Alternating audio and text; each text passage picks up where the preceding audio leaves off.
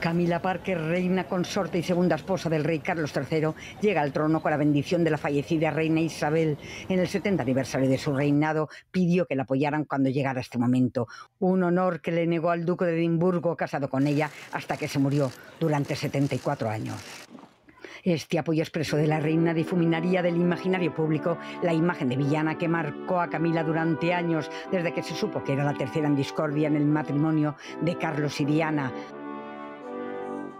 ¿Sabes que tu tatarabuelo, el rey Eduardo VII, fue amante de mi bisabuela Alice Keppel? Le preguntó Camila Carlos cuando se conocieron. Eran joraron en 1970, cuentan los cronistas, pero la historia de amor no cuajó porque el perfil de Camila, dicen, no encajaba con el de princesa y futura madre de un futuro rey. Carlos prefirió elegir a Diana, 13 años, más joven, inexperta, perfecta para desempeñar el cargo interrumpieron su relación. Camila se casó y tuvo dos hijos. Carlos y Diana tuvieron a William y Harry.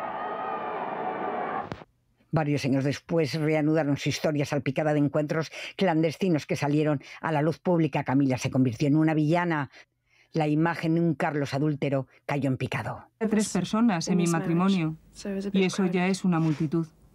El marido de Camila le pidió el divorcio y la reina Isabel ordenó a Carlos y Diana que se separaran tras los escándalos. El fallecimiento trágico de la princesa de Gales dejó bajo mínimos la imagen de Camila y Carlos.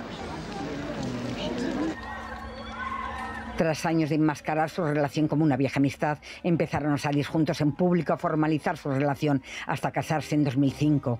Camila se adaptó al protocolo y a la familia real.